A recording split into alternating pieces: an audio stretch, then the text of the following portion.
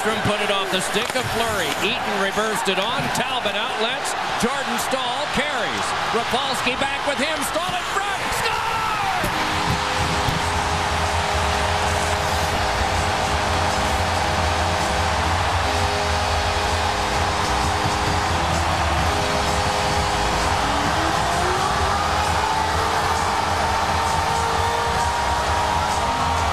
Well, the opportunity for Evgeny Malkin.